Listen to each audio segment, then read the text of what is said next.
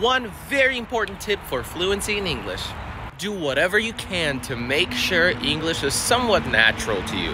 And what I mean by that is, you know how you can be completely relaxed in your native language, and then as soon as English comes up, you sit up and you pay attention. I know you know what I'm talking about when it feels like you need more focus to understand or to speak English.